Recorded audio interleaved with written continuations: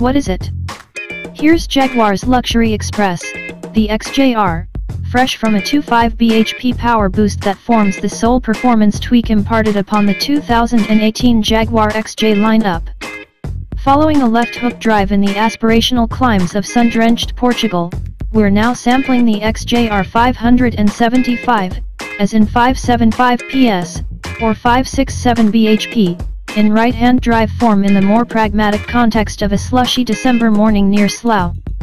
As a refresher, the XJ engine lineup includes two 3.0-liter V6s, a 296 bhp diesel and 335 bhp petrol, both of which can be had in standard wheelbase or long wheelbase form, the latter with an extra 125mm between its axles. Then there are two versions of the Evergreen range topper, the 5.0-liter V8 with a twin vortex supercharger, the 503 bhp LWB autobiography and the SWB 575 we're driving today.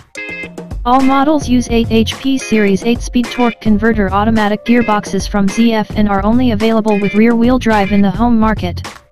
In addition to the extra, ECU liberated grunt, the 575 is differentiated from the previous XJR by the likes of special kick plates, diamond-stitched leather upholstery and 575 badges inside and out.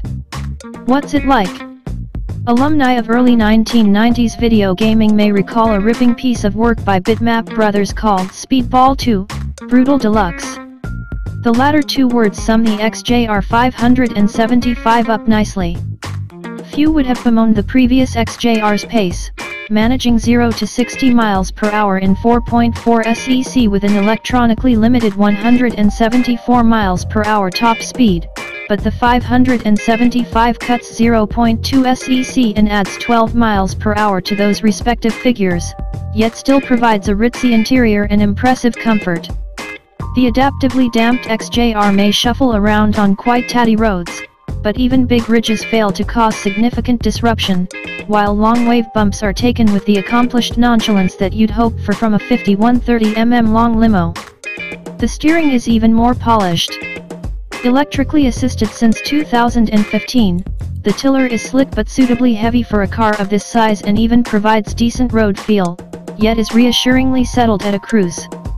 Turn-in isn't razor sharp but still usefully swift, while body roll is very tidily curved, surely thanks in part to the car's half-sensible, sub 1900 kg curb weight.